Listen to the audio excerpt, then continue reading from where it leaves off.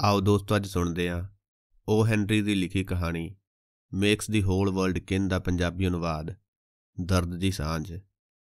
ਇਹ ਅਨੁਵਾਦ ਚਰਨ ਗਿਲ ਜੀ ਨੇ ਕੀਤਾ ਹੈ ਅਤੇ ਆਵਾਜ਼ ਹੈ ਜਗਸੀਰ ਦੀ। ਚੋਰ ਫੁਰਤੀ ਨਾਲ ਖਿੜਕੀ ਦੇ ਅੰਦਰ ਕੁੱਦਿਆ ਤੇ ਪਲ ਭਰ ਦਮ ਲੈਣ ਲਈ ਠਹਿਰ ਗਿਆ। ਸਿੱਕੇਬੰਦ ਚੋਰ ਚੋਰੀ ਵਾਲੇ ਘਰ ਵਿੱਚੋਂ ਕੁਝ ਲੈਣ ਤੋਂ ਪਹਿਲਾਂ ਥੋੜਾ ਦਮ ਜ਼ਰੂਰ ਲੈਂਦੇ ਨੇ। ਘਰ ਇੱਕ ਨਿੱਜੀ ਨਿਵਾਸ ਸੀ। ਚੋਰ ਨੇ ਘਰ ਦੇ ਫੱਟਿਆਂ ਦੇ ਬੂਹੇ ਅਤੇ ਬਿਨਾਂ ਕਟਾਈ ਕੀਤੀ ਇਸ਼ਕ ਪੇਚੇ ਵਾਲੀ ਵੇਲ ਤੋਂ ਭਾਂਪ ਲਿਆ ਸੀ ਕਿ ਘਰ ਦੀ ਮਾਲਕਣ ਇਸ ਵਕਤ ਸਾਗਰ ਦੇ ਕੰਢੇ ਕਿਸੇ ਹੋਟਲ ਵਿੱਚ ਕਿਸੇ ਹਮਦਰਦ ਦੇ ਨਾਲ ਬੈਠੀ ਰੋਣਾ ਰੋ ਰਹੀ ਹੋਵੇਗੀ ਕਿ ਅੱਜ ਤੱਕ ਉਸ ਦੇ ਦਿਲ ਦੀ ਥਾਂ ਕਿਸੇ ਨੇ ਨਹੀਂ ਪਾਈ, ਕਿਸੇ ਨੇ ਉਸ ਦੀ ਇਕੱਲ ਨੂੰ ਨਹੀਂ ਸਮਝਿਆ।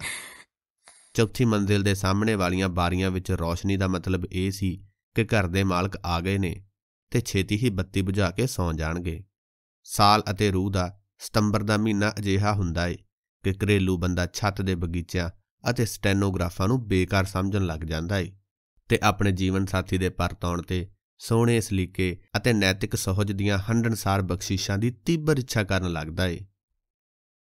ਚੋਰ ਨੇ ਸਿਗਰਟ ਜਲਾਈ, ਓਟ ਵਿੱਚ ਤੀਲੀ ਦੀ ਲੋ ਨੇ ਇੱਕ ਪਲ ਲਈ ਉਸ ਦੇ ਮੁੱਖ ਨੁਕਤੇ ਪ੍ਰਕਾਸ਼ਿਤ ਕਰ ਦਿੱਤੇ। ਉਹ ਤੀਜੀ ਕਿਸਮ ਦੇ ਚੋਰਾਂ ਵਿੱਚੋਂ ਸੀ। ਇਸ ਤੀਜੀ ਕਿਸਮ ਨੂੰ ਅੱਜ ਤੱਕ ਮਾਨਤਾ ਤੇ ਸਵੀਕ੍ਰਿਤੀ ਨਹੀਂ ਮਿਲੀ। ਪੁਲਿਸ ਨੇ ਸਾਨੂੰ ਪਹਿਲੀ ਅਤੇ ਦੂਜੀ ਕਿਸਮ ਤੋਂ ਜਾਣੂ ਕਰਵਾਇਆ ਏ।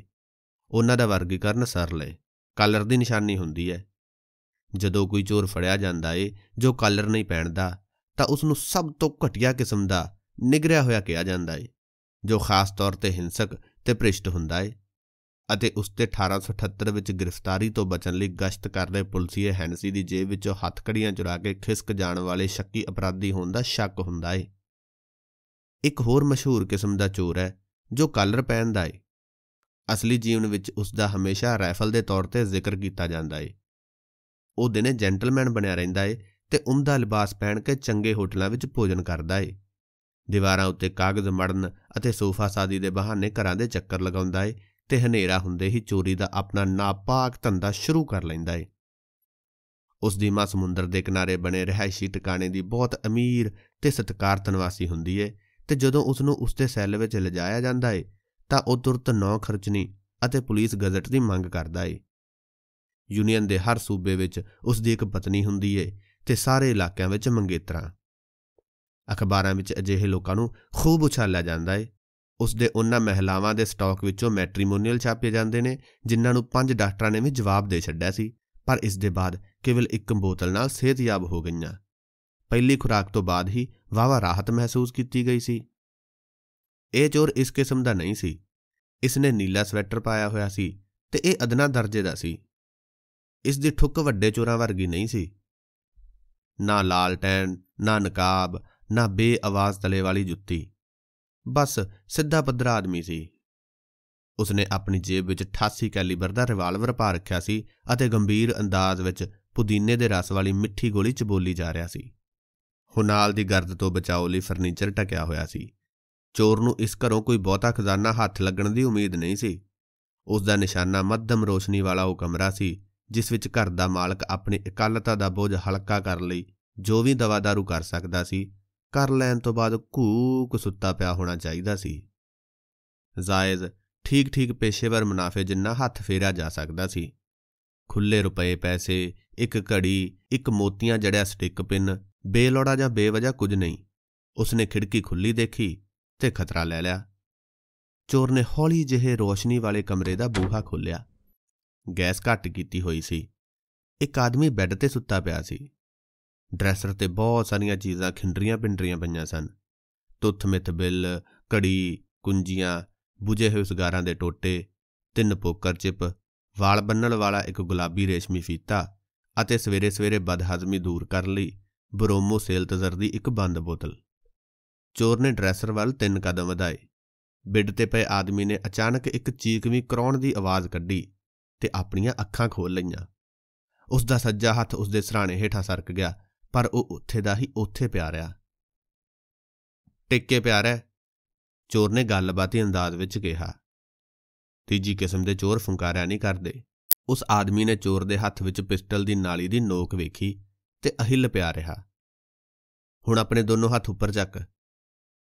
ਚੋਰ ਨੇ ਹਾਕਮਾਨਾ ਲੈ ਦੇ ਵਿੱਚ ਕਿਹਾ, ਇਸ ਆਦਮੀ ਦੀ ਛੋਟੀ ਜਿਹੀ ਚੂਚੀ ਖਿਚੜੀ ਦਾੜੀ ਸੀ। ਜਿਹੋ ਜਿਹੀ ਬਿਨਾਂ ਦਰਦ ਦੰਦ ਕੱਢਣ ਵਾਲੇ ਡਾਕਟਰ ਦੀ ਹੁੰਦੀ ਹੈ ਉਹ ਮਜ਼ਬੂਤ, ਆਦਰਯੋਗ ਅਤੇ ਚੁੰਝਲਾਇਆ ਜਿਹਾ ਲੱਗ ਰਿਹਾ ਸੀ। ਉਹ ਆਪਣੇ ਬੈੱਡ ਤੇ ਬੈਠ ਗਿਆ ਤੇ ਆਪਣਾ ਸੱਜਾ ਹੱਥ ਉੱਪਰ ਚੱਕ ਲਿਆ। ਦੂਜਾ ਹੱਥ ਵੀ ਉੱਪਰ ਚੱਕ। ਤੇਰਾ ਕੀ ਹੈ ਤੂੰ ਦੋਨੇ ਵਰਤ ਸਕਦਾ ਹੋਵੇਂ ਤੇ ਖੱਬੇ ਹੱਥ ਨਾਲ ਪਿਸਟਲ ਦਾਗ ਦੇਵੇਂ? ਤੂੰ ਦੋ ਤੱਕ ਗਿਣ ਸਕਦਾ ਹੈ ਠੀਕ ਹੈ ਇਹ ਹੱਥ ਮੇਥੋਂ ਚੱਕਿਆ ਨਹੀਂ ਜਾਂਦਾ। ਉਸ ਆਦਮੀ ਨੇ ਚਿਹਰੇ ਦੇ ਹਾਵ-ਭਾਵ ਕੁਰਖਤ ਬਣਾਉਂਦੇ ਹੋਏ ਕਿਹਾ, ਕਿਉਂ?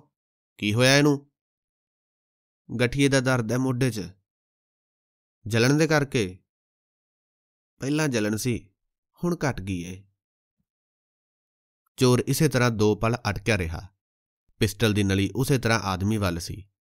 ਉਸਨੇ ਡਰੈਸਰ ਦੀਆਂ ਚੀਜ਼ਾਂ ਉੱਤੇ ਨਜ਼ਰ ਦੌੜਾਈ, ਫਿਰ ਨੀਮ ਨਮੋਸ਼ੀ ਦੇ ਲਹਿਜ਼ੇ ਵਿੱਚ ਉਸ ਆਦਮੀ ਵੱਲ ਦੇਖਿਆ ਤੇ ਫਿਰ ਉਸਨੇ ਵੀ ਅਚਾਨਕ ਭੈੜਾ ਜਿਹਾ ਮੂੰਹ ਬਣਾਇਆ। ਮੂੰਹ ਨਾ ਬਣਾ।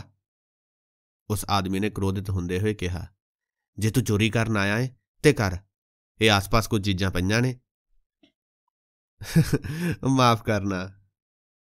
ਚੋਰ ਨੇ ਹਿੜ-ਹਿੜ ਹੱਸਦੇ ਹੋਏ ਕਿਹਾ, ਮੈਨੂੰ ਵੀ ਇਹੀ ਮਰਦਾ ਹੈ। ਤੁਹਾਡੇ ਲਈ ਇਹ ਚੰਗਾ ਹੋਇਆ ਕਿ ਮੈਂ ਤੇ ਇਹ ਗਠੀਆ ਮਰਦੇ ਪੁਰਾਣੇ ਸਾਥੀ ਆ।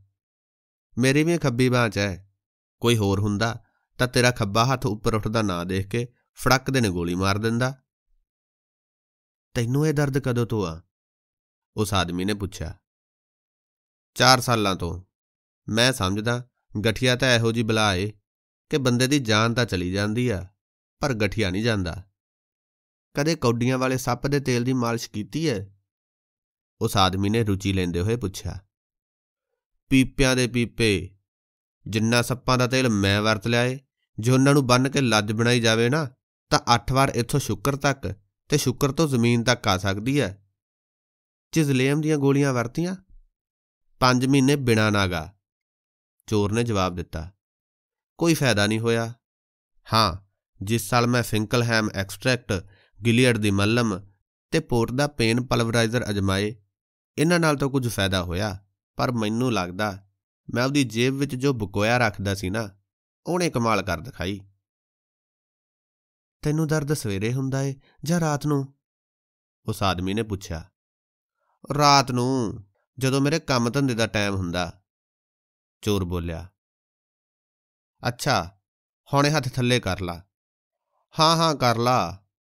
ਕੀ ਤੂੰ ਕਦੇ ਬਲਿਕਰ ਸਟਾਫ ਦੇ ਬਲੱਡ ਬਲੈਡਰ ਨੂੰ ਵਰਤ ਕੇ ਦੇਖਿਆ? ਨਾ, ਉਹ ਤਾਂ ਨਹੀਂ ਪੀਤਾ। ਤੂੰ ਇਹ ਦੱਸ, ਤੇਰੀ ਇਸ ਬਾਹ ਵਿੱਚ ਟੀਸ ਉੱਠਦੀ ਏ ਜਾਂ ਹਰ ਵਕਤ ਦਰਦ ਰਹਿੰਦਾ? ਹੁਣ ਚੋਰ ਉਸ ਦੀ ਬੈੱਡ ਦੇ ਇੱਕ ਪਾਸੇ ਬੈਠ ਗਿਆ ਤੇ ਆਪਣੇ ਪਿਸਟਲ ਨੂੰ ਗੋਡਿਆਂ ਤੇ ਰੱਖ ਲਿਆ। ਅਚਾਨਕ ਟੀਸ ਉੱਠਦੀ ਏ, ਅਚਿੰਤੇ ਹੀ। ਕਦੇ-ਕਦੇ ਤਾਂ ਪੌੜੀਆਂ ਵੀ ਨਹੀਂ ਚੜ ਹੁੰਦਾ। ਬਸ ਅੱਧ ਵਿਚਾਲੇ ਯਾਦ ਬੋਚਦਾ। ਦੂਜੀ ਮੰਜ਼ਲ ਦਾ ਕੰਮ ਛੱਡਣਾ ਪੈਂਦਾ। ਮੈਂ ਤਾਂ ਕਹਿੰਨਾ ਆ ਡਾਕਟਰਾਂ ਡੁਕਟਰਾਂ ਨੂੰ ਵੀ ਕੁਝ ਨਹੀਂ ਪਤਾ। ਕਿਸੇ ਕੋਲੇ ਦਾ ਇਲਾਜ ਨਹੀਂ। ਬਸ ਸਾਰੇ ਤੁੱਕੇ ਹੀ ਲਾਈ ਜਾਂਦੇ ਆ। ਮੇਰਾ ਵੀ ਇਹੀ ਖਿਆਲ ਆ, ਹਜ਼ਾਰਾਂ ਡਾਲਰ ਡਾਕਟਰਾਂ ਨੂੰ ਲੁਟਾ ਦਿੱਤੇ ਢੇਲੇ ਭਰਦਾ ਆਰਾਮ ਨਹੀਂ। ਤੈਨੂੰ ਕਦੋਂ ਘੇਰਦਾ ਏ? ਸਵੇਰੇ ਸਵੇਰੇ, ਤੇ ਜਦੋਂ ਮੀਂਹ ਪੈਣ ਲੱਗਦਾ ਏ, ਤਾਂ ਜਾਣ ਨੂੰ ਆ ਬਣਦੀ ਆ। ਇਹੀ ਹਾਲ ਇੱਧਰ ਹੈ, ਕੋਈ ਬਦਲੀ ਛੋਟੀ ਤੋਂ ਛੋਟੀ, ਚਾਹੇ ਮੇਜ਼ਪੋਸ਼ ਜਿੰਨੀ ਹੀ ਹੋਵੇ, ਮੈਂ ਦੱਸ ਸਕਦਾ ਕਿ ਕਦੋਂ ਉਹ ਫਲੋਰੀਡਾ ਤੋਂ ਨਿਊਯਾਰਕ ਵੱਲ ਨੂੰ ਚੱਲ ਪੈਂਦੀ ਹੈ।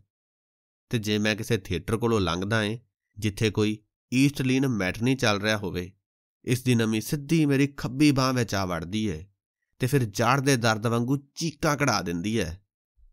ਹਏ, ਨਿਰਾ ਨਰਕ, ਚੋਰ ਨੇ ਕਿਹਾ।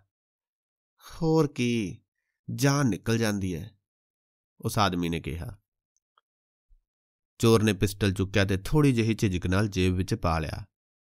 ਥੋੜੇ ਠਹਿਰਾ ਦੇ ਬਾਅਦ ਉਹ ਬੋਲਿਆ, ਅੱਛਾ ਬਜ਼ੁਰਗੋ, ਇਹ ਦੱਸੋ, ਕਦੇ ਓਪੋ ਡੇਡਲੌਕ ਦੀ ਵੀ ਵਰਤੋਂ ਕੀਤੀ ਹੈ? ਉਹ ਵਾਧੂ! ਆਦਮੀ ਨੇ ਗੁੱਸੇ ਨਾਲ ਕਿਹਾ, ਰੈਸਟੋਰੈਂਟ ਮੱਖਣ ਨਾਲ ਵੀ ਮਾਲਿਸ਼ ਕੀਤੀ ਜਾ ਸਕਦੀ ਹੈ ਹਮ ਠੀਕ ਕਹਿੰਦੇ ਹੋ ਚੋਰ ਨੇ ਕਿਹਾ, ਬੜੀ ਮਾਮੂਲੀ ਚੀਜ਼ ਹੈ, ਇਹ ਛੋਟੀ ਮਿੰਨੀ ਲਈ ਲਾਹੇਵੰਦ ਹੈ। ਜਦੋਂ ਬਿੱਲੀ ਉਸ ਦੀ ਉਂਗਲ ਨੂੰ ਖਰੋਚ ਮਾਰ ਜਾਂਦੀ ਹੈ ਸਾਡੀ ਦੋਵਾਂ ਦੀ ਹਾਲਤ ਇਸ ਮਾਮਲੇ ਵਿੱਚ ਇੱਕੋ ਜਿਹੀ ਹੈ। ਬਸ ਉਸ ਦੀ ਤਾਂ ਇੱਕ ਹੀ ਦਵਾਈ ਹੈ। ਵਾਹ, ਮੌਕੇ ਤੋਂ ਕਿਆ ਯਾਦ ਆ ਗਈ। ਸ਼ਰਾਬ ਦੇ ਦੋ ਘੁੱਟ ਜੋ ਕੰਮ ਕਰਦੇ ਨੇ ਨਾ, ਉਹ ਇਹਨਾਂ ਤੇਲਾਂ ਮਜੂਨਾ ਦੇ ਵਸ ਦੀ ਗੱਲ ਨਹੀਂ। ਚਲੋ, ਜ਼ਰਾ ਕੱਪੜੇ ਪਾਓ। ਬਾਹਰ ਕੋਈ ਠੇਕਾ ਖੁੱਲਿਆ ਹੋਇਆ, ਤਾਂ ਦੋ ਦੋ ਘੁੱਟ ਲਾ ਆਈਏ। ਚੋਰ ਨੇ ਕਿਹਾ। ਇੱਕ ਹਫ਼ਤੇ ਤੋਂ ਤਾਂ ਹਾਲ ਇਹ ਹੈ ਕਿ ਕੱਪੜੇ ਵੀ ਖੁਦ ਨਹੀਂ ਪਾ ਸਕਦਾ। ਆਦਮੀ ਨੇ ਕਿਹਾ। ਟੌਮ ਪਵਾ ਦਿੰਦਾ ਏ।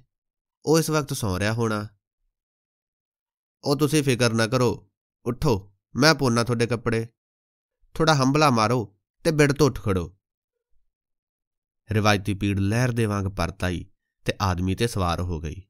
ਉਸਨੇ ਆਪਣੀ ਪੂਰੀ ਤੇ ਸਲੇਟੀ ਦਾੜੀ ਨੂੰ ਸਹਿਲਾਇਆ। ਇਹ ਤਾਂ ਬਾਲੇ ਅਜੀਬ ਹੈ। ਉਹ ਕਹਿਣ ਲੱਗਾ, ਇਹ ਲੋ ਆਪਣੀ ਸ਼ਰਟ। ਚੋਰ ਨੇ ਕਿਹਾ, ਇੱਕ ਸਾਹਬ ਦੱਸਦੇ ਨੇ ਕਿ ਓਮਬੇਰੀ ਦੀ ਮਾਲਮ ਨੇ ਉਸ ਨੂੰ 2 ਹਫ਼ਤਿਆਂ ਵਿੱਚ ਠੀਕ ਕਰਤਾ ਸੀ। ਉਹ ਦੋਨਾਂ ਹੱਥਾਂ ਨਾਲ ਆਪਣਾ ਕਾਰਜ ਸੋਧਣ ਲੱਗ ਪਿਆ ਸੀ। ਬੂਹੇ ਤੋਂ ਨਿਕਲਣ ਲੱਗੇ ਤਾਂ ਆਦਮੀ ਮੁੜ ਪਿਆ ਤੇ ਅੰਦਰ ਜਾਣ ਲੱਗਾ ਓਹੋ, ਮੈਂ ਪੈਸੇ ਤਾਂ ਭੁੱਲ ਹੀ ਚੱਲਿਆ ਸੀ। ਰੁਕੀ ਜ਼ਰਾ। ਬੀਤੀ ਰਾਤ ਮੈਂ ਡਰੈਸਰ ਵਿੱਚ ਹੀ ਰੱਖੇ ਸੀ। ਚੁੱਕ ਲਿਆਵਾਂ। ਉਹ ਨਹੀਂ ਨਹੀਂ। ਚੋਰ ਨੇ ਉਸ ਨੂੰ ਬਾਹਾਂ ਤੋਂ ਫੜ ਕੇ ਰੋਕਦੇ ਹੋਏ ਕਿਹਾ। ਪੈਸੇ ਹੈਗੇ ਮੇਰੇ ਕੋਲ। ਫਿਕਰ ਨਾ ਕਰੋ। ਅੱਛਾ, ਇਹ ਦੱਸੋ, ਤੁਸੀਂ ਕਦੇ ਵਿੱਚ ਹੇਜ਼ਲ ਤੇ ਵਿੰਟਰਗ੍ਰੀਨ ਦਾ ਤੇਲ ਵੀ ਵਰਤ ਕੇ ਦੇਖਿਆ। ਦੋਸਤੋ, ਇਹ ਸੀ ਉਹ ਹੈਨਰੀ ਦੀ ਲਿਖੀ ਕਹਾਣੀ, ਮੇਕਸ ਦਾ ਹੋਲ ਵਰਲਡ ਕਿਨ ਦਾ ਪੰਜਾਬੀ ਅਨੁਵਾਦ। ਦਰਦ ਦੀ ਸਾਂਝ। ਇਹ ਅਨੁਵਾਦ ਚਰਨਗਿਲ ਜੀ ਨੇ ਕੀਤਾ ਏ ਤੇ ਆਵਾਜ਼ ਸੀ ਮੇਰੀ, ਯਾਨੀ ਜਗਸੀਰ ਦੀ।